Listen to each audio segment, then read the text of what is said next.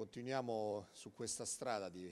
internazionalizzare la nostra regione, farla sempre più sede di grandi eventi che gli danno visibilità, che permettono al nostro territorio di essere conosciuto, oltre che di ricevere migliaia di turisti, in questo caso parliamo dei ciclisti, di tutte le squadre d'Europa che verranno a correre